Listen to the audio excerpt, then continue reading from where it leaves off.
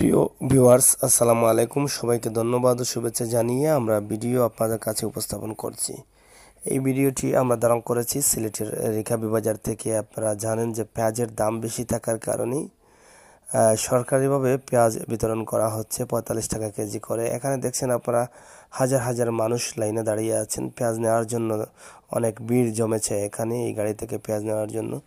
তবে এই পেঁয়াজটা কদিন যাবৎ এভাবে সরবরাহ থাকবে তা এখনও জানা যায়নি। আপনারা ভিডিওটি উপভোগ করুন।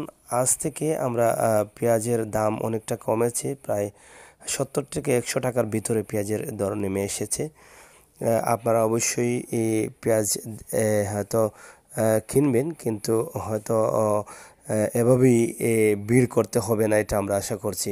প্রিয় দর্শক, শ্রোতা, ছেলেটার ম্যাগাজিন, টিভি থেকে আমি সাংবাদিক আমির হোসেন সাগর, আবারও অন্য কোনো ভিডিও নিয়ে আসব।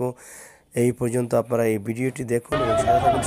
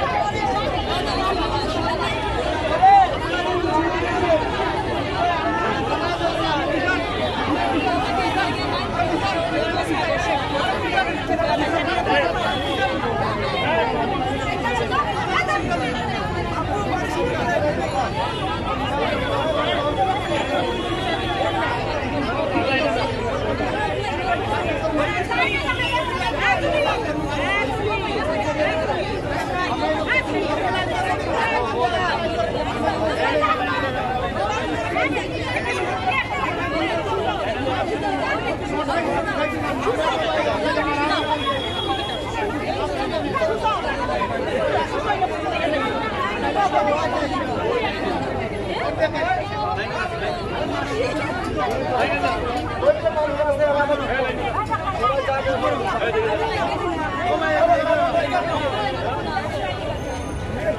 go, go.